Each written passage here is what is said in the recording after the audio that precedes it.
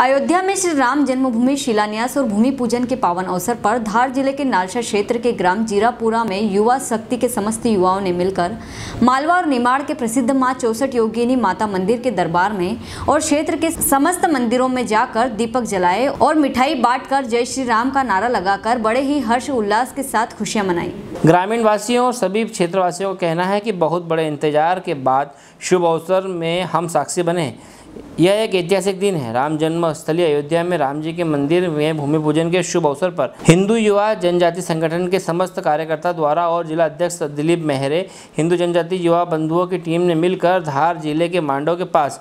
काकड़खो में शबरी धाम पर पाँच सौ इक्यावन दीपक से जय श्री राम और सबरी माता की जय का नाम जलते दीपक से बनाकर महाआरती और प्रसादी का आयोजन रखा। धर्मपुर से कैलाश मावी की रिपोर्ट।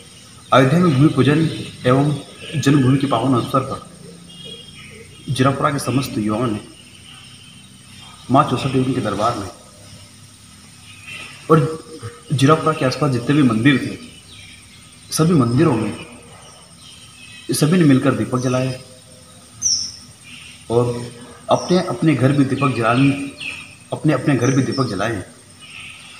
और सभी ने आपस में मिलकर मिठाई बांटकर जय श्री राम के नारों के साथ खुशियाँ मनाई। जय श्री राम